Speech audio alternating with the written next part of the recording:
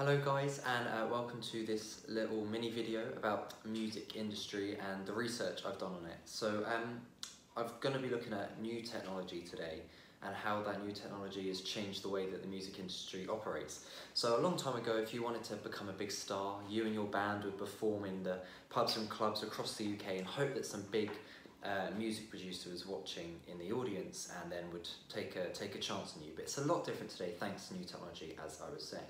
So the first thing you can do, it's so, so easy nowadays to just film, record, edit your own music in your room. You see lots of YouTube stars um, who start on YouTube end up becoming proper pop stars through just recording on their phones, on their iPads, on their laptops, just with a guitar or any type of instrument, piano, just sitting and making and writing songs and that's um, an easy way to do it now with uh, the prices of these technology, which used to be only for the for the rich and who were in the music industry could afford these microphones and other things like that. That's my cat just getting up down there. Um, and yeah, they could only afford it if you're in the music industry, but now you can get microphones, like even the quality of cameras on phones is easy as well. So to record and self self-record music and edit on these softwares which you can get on on computers now um, has made it a lot easier for has made it a lot easier for people to make and break into the uh, music industry.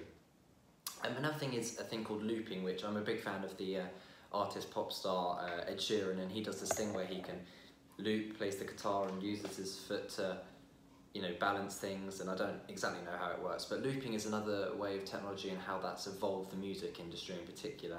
It's added this new layer to music, which um, it's an editing software, I suppose, but it's allowed people like Ed Sheeran to be so, have a, such a unique selling point, which no one else has, um, and has enabled him to hit stardom.